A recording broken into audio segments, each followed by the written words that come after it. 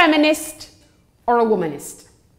The student needs to know if I do men occasionally and primarily, am I a lesbian? Tongue tied up in my cheek, I attempt to respond with some honesty. Well, this business of dykes and dykery, I tell her, is often messy. With social tensions as they are, you never quite know what you're getting. Girls who are only straight at night.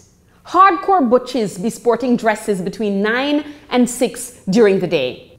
Sometimes he is a she, trapped by the limitations of our imagination.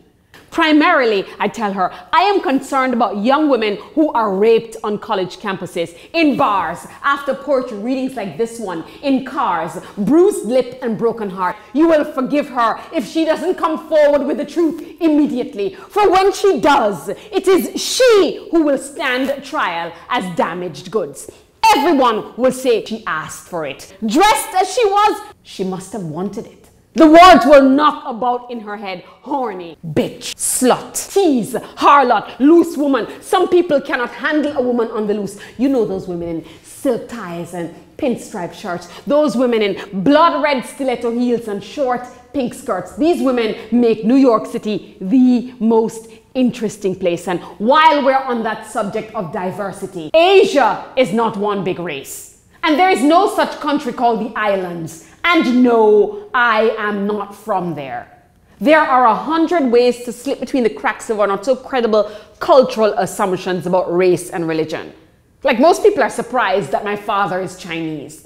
Like there's some kind of preconditioned look for the half Chinese lesbian poet who used to be Catholic but now believes in dreams. Let's keep it real, says the boy in the double X footed sweatshirt. That blue eyed, blonde haired Jesus in the Vatican ain't right. That motherfucker was Jewish, not white. Christ was a Middle Eastern Rastaman who ate grapes in the company of prostitutes and drank wine more than he drank water. Born of the Spirit, the disciples loved him in the flesh. But the discourse is not on those of us who clearly identify as gay or lesbian or straight. The state needs us to be a clear left or right. Those in the middle get caught in the cross. Fire away at the other side. If you are not for us, you must be against us. And when people get scared enough, they pick a team.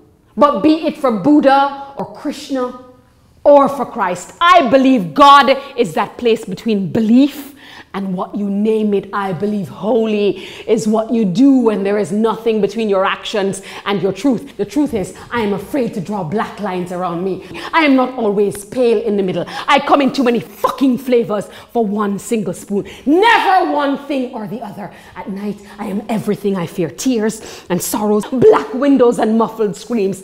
In the morning, I am all I ever wanted to be rain and laughter, bare footprints, invisible seams, always, always without breath, without definition. I claim every single dawn for yesterday. Yesterday is simply what I was. And tomorrow, even that will be gone.